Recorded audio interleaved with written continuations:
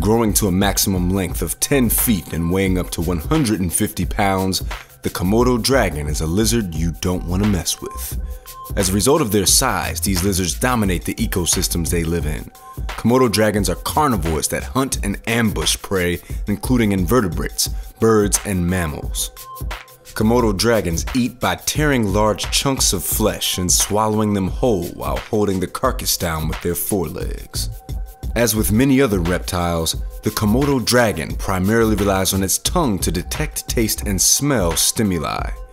With the help of a favorable wind and its habit of swinging its head from side to side as it walks, a Komodo dragon may be able to detect their next decaying meal from five miles away.